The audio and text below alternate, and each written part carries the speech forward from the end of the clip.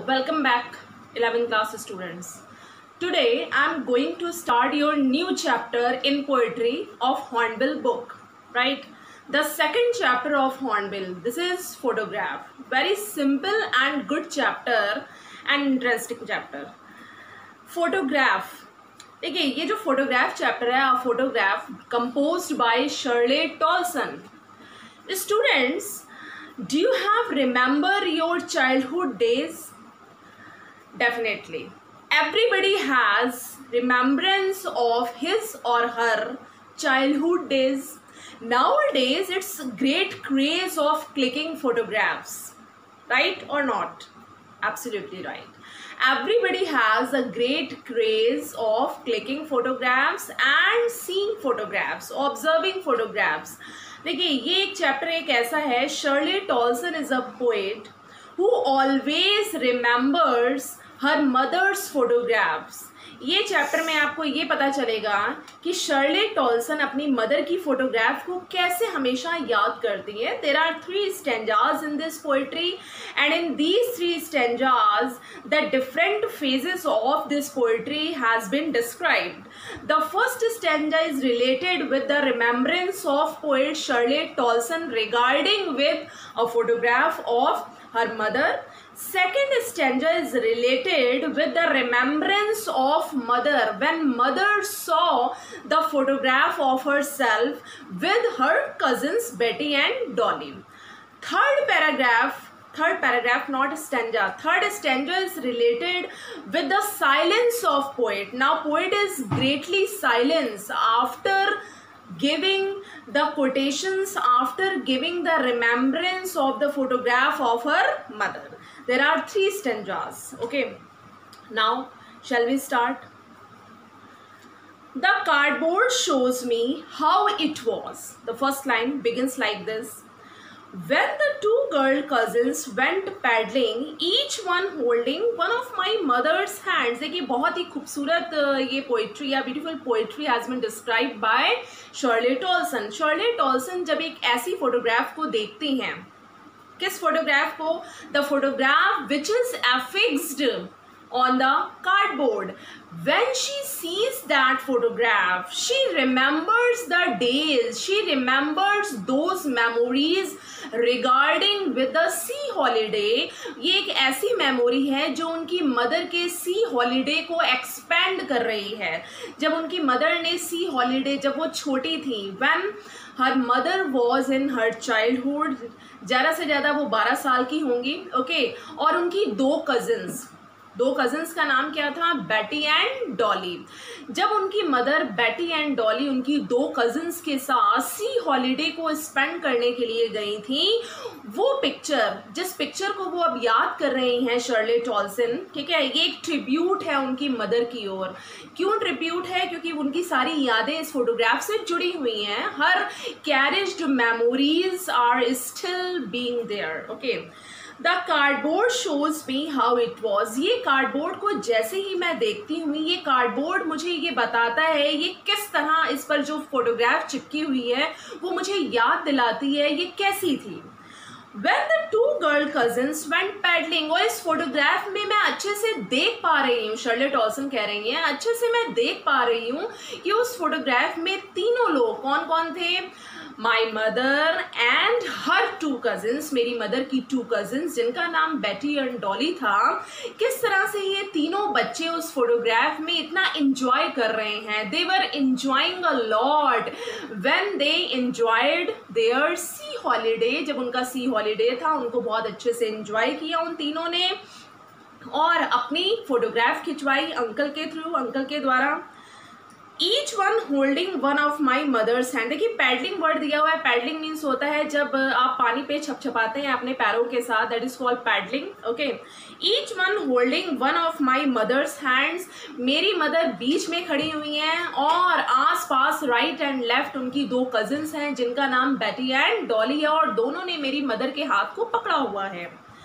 Some 12 and the girl the big girl some 12 years or so और जो बीच में जो मेरी मम्मी हैं जो लगभग उस समय 12 साल की थी उस फोटोग्राफ में ये एज उनको पता है All three stood still to smile through their hair at the uncle with the camera. And in front of those girls, one person stands. यहाँ पर वो जो person है जो खड़े होते हैं वो कौन है उनके uncle, right?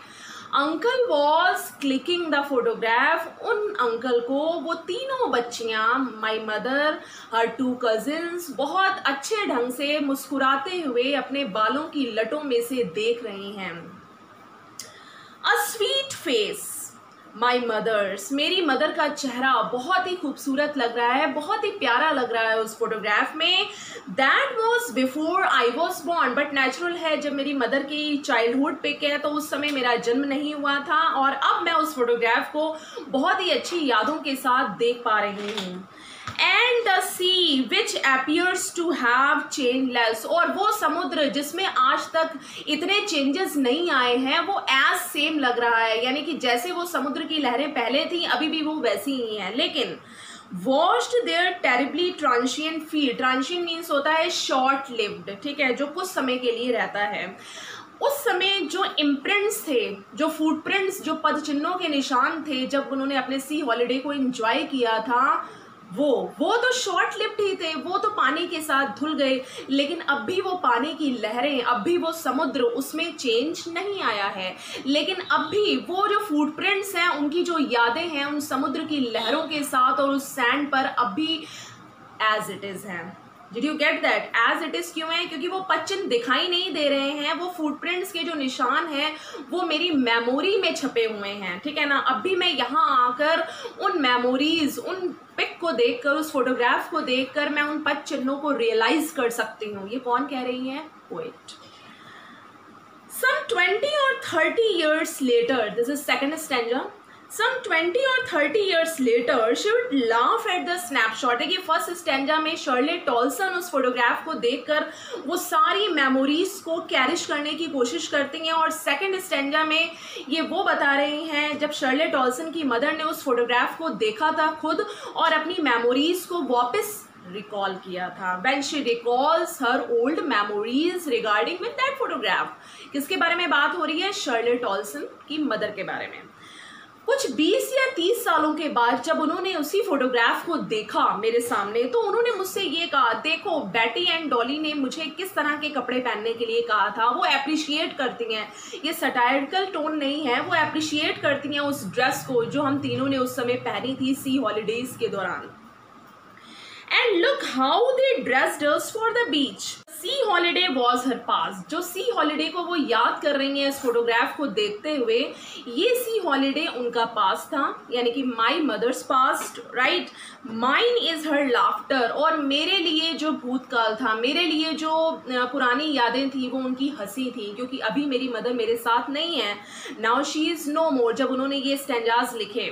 तो इसलिए वो कह रही हैं, मेरे लिए जो पास्ट है, वो उनकी हँसी है, वो उनकी खुशी थी।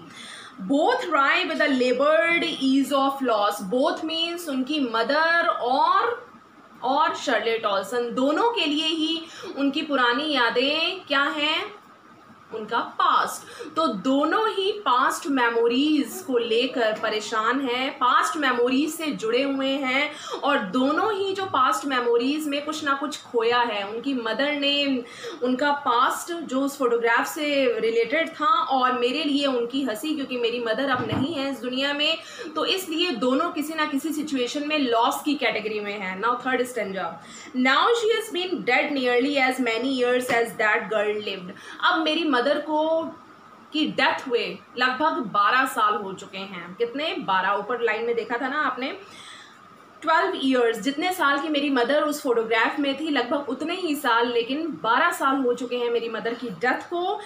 And of this circumstance there is nothing to say at all it's silence silences okay silence silences means अब मेरे पास कहने के लिए कुछ ज़्यादा नहीं है, सिवाय इन मेमोरीज को याद करने की और मेरी मदर भी मेरे साथ नहीं है। That's where Shirley Toulson wants to describe that only there is silence surrounds me ठीक है ना? केवल मैं घिरी हुई हूँ अपनी एक शांति से, क्योंकि मेरे शेयर करने के लिए मेरे पास मेरी साइलेंस ही है. आई एम स्पीचलेस क्योंकि मैं उन यादों में पूरी तरह से डूब चुकी हूँ. मेरी मदर मेरे साथ नहीं है. There is only silence and nothing to say at all okay how was that I hope you understood all these lines very well thank you